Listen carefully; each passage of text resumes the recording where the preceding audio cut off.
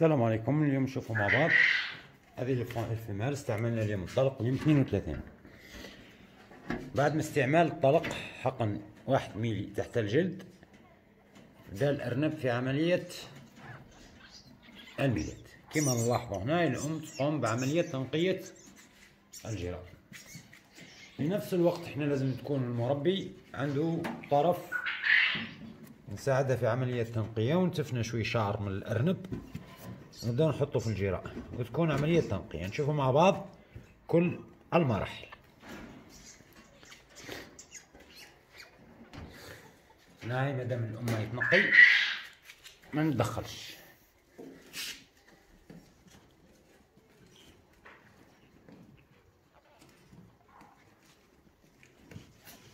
هذا وجارو خارج هنا ويتنقي في ال deuxième. نشوفوا هذه. آه كما تشوفوا هذه كتلة اللحم اللي هنا. هذا الخارج هنا مازالت مازال مسكر عليه. هنا لازم تتنح هذه الفقاعة الأمامية لازم تتنح على الأرنب باش يقدر يتنفس. ونشوفوا هذا النجران normalement نقات وهذه اللي هنا المشيمة هذه رانا ياكلها الأرنب normalement. إحنا هنا في هذه اللحظة كي تشوف عملية الميلاد كما هاك نشوف اولا تدخل الأم. راه مباشرة تروح للصغار تبدأ تلحس في الصغار. لاحظوا معي هذا الجارو déjà حطت المشيمه automatiquement تبدأ عملية التنفس عنده. هاي تقوم الأم بعملية التنقية. تقوم تنقية الجراء من الدم وما إلى. هي راه تأكل المشيمه نتاعو راهي تأكلها الارنب غنية بالبروتين. هاي بمجرد أنها تكمل أي جرو تحاول أنها تقوم بعملية الرضاعة نخلوها مادام كيما هكا تخدم وحدها وإذا استدعى الأمر رانا نبدأ نحكموا في الجراء معنا ونبدأ نقوم بعملية تنقية معنا. ماناش راح نخلوها حتى نتكمل العملية مع بعض.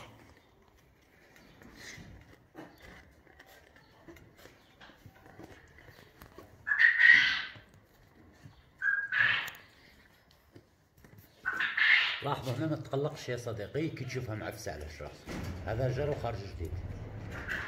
هاي معفسة عليه هنا. هاو يتحرك؟ هاي تعاود تولي له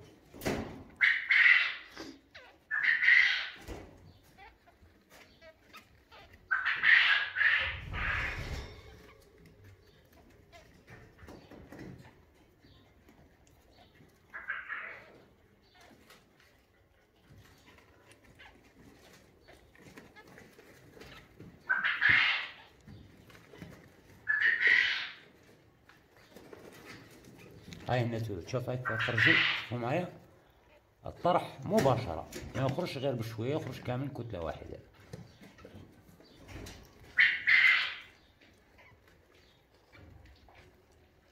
أنا بنا استعملنا الطلق عملية الميلاد تكون سريعة هي في الطبيعة. رأت الأم بين الجر والجر كان مدة من الزمن. أما مع استعمال الطلق تكون الجراء تنزل بسرعة. هنا وين الأم ما توصلش أنها تنقي كامل الجراء؟ هنا وين يكون لازم تدخل المربي. هاي هناك تشوف هذا مازال بدمه مازال خارج. وهو مازال ديجا مازال تخرج. لا ركزوا معايا مليح. يعني نحاول إني من تحت القفص. هذا واحد هاي تطرح في الثاني. ركزوا معايا. مش عارف إذا كانت الصورة واضحة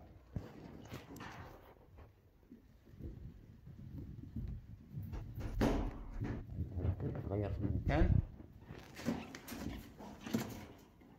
هنا تقوم بعملية تنقية أجرحها بنفس الوقت. الأمر صعب نوعا ما. لاحظوا معايا هنا هنا هاي الأم كما راكم تشوفوه البطن نتاعها كاين حركة في البطن. هذيك الحركة راه تدل أن الأم تقوم بعملية كما إحنا نسموها الزحام. هاي خرجت هذه الكتلة تاع اللحم اللي نزلت اللي هي المشيمة نتاع صغير. والآن نورمالمون ينزل يهبط صغير مشيمة أخرى. ركز معايا. هاي هنا بدأت تطرح الصغير مباشرة راحت لعملية السحب. قمت بعملية تنقية وعملية سحب الصغير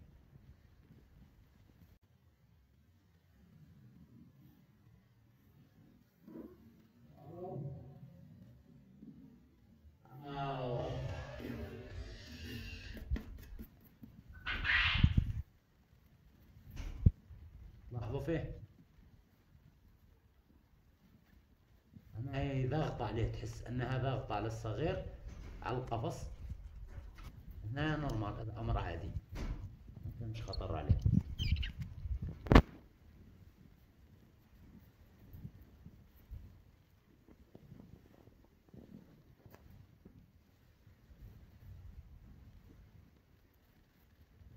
عدد ما شاء الله.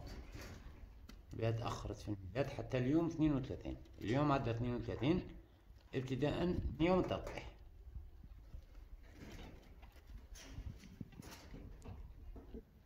تتمدد هاك الأم هنا كاين مرحلة راحة. أنا ما زلت تطلع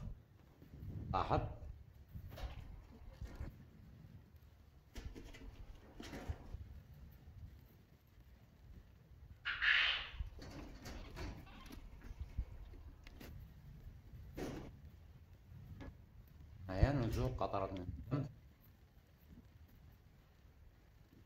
تقوم في نفس الوقت كما تشوفوا راح تقوم بعملية تنقية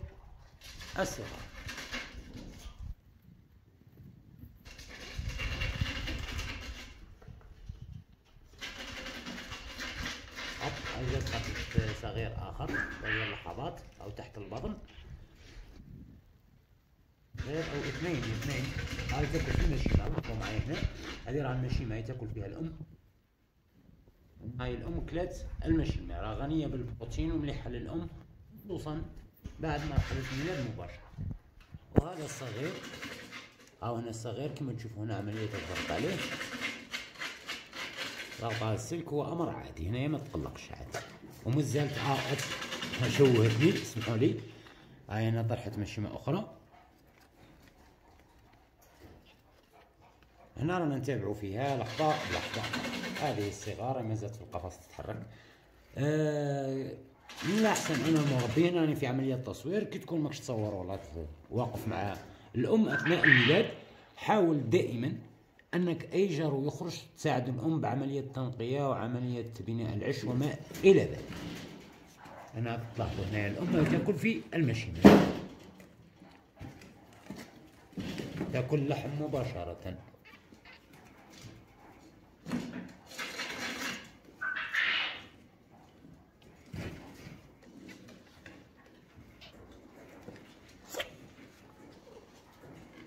تطرح هذه مشينا هذه الفضلات اللي تنزل؟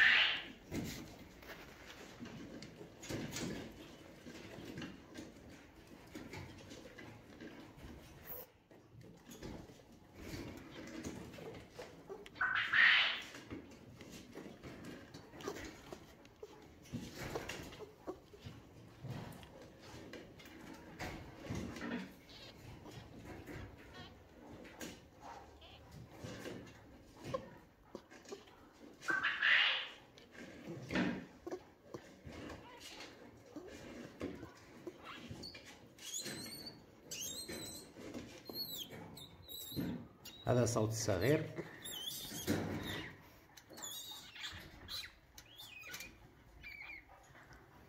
مازال تطرح. لا بخصوص الصغير يكون خارج. ركزوا معايا.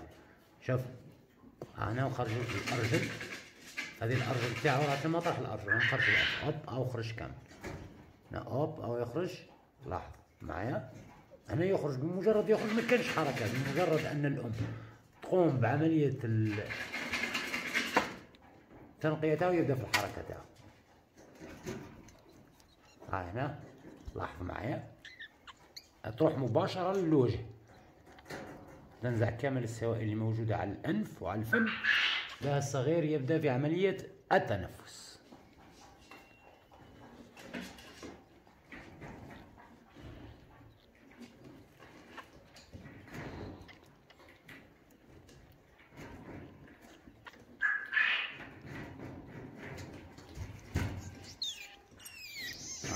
عليه بصح نورمال هنايا ما كانش مشكل. نبداو نخدمو مع بعض. نبداو نمو في الغارة بدات كل واحد يروح المكان هذولي برك نحاول معكم آه هذا لسه هذا الصغار. هم عندي زوج هنا. ركز معايا. عندي زوج صغار هذا واحد هذا واحد هذو الأولين. ثلاثة. أربعة.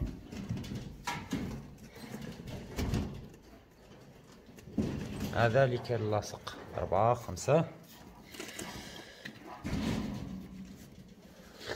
نجبدو هذا. هاي حنينة نورمال مديدي ما كانش حتى مشكلة. شحال هذا ثلاثة خمسة. هذا واحد ستة. سبعة. ثمانية تسعة. هذا عشرة هنا. وين؟ فات القفص الثاني.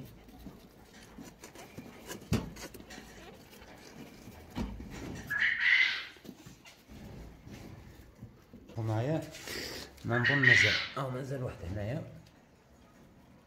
راكم تشوفوا فيه. جاء وراء هذه الام لازم نقوم بعملية السحب نتاعها. هنا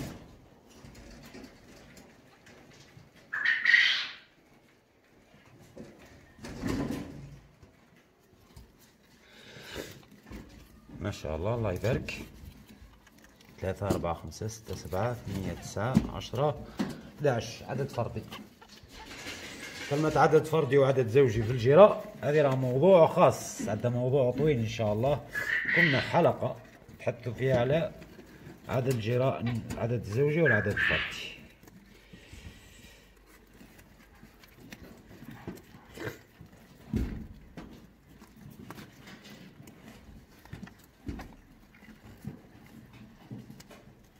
ما شاء الله. هذا الإنتاج. نروح القفص الثاني تاعكم هذه أي هنا ترضع هذه هي ترضع كما راكم ما خليتهمش يرضعوا واعرة شوية.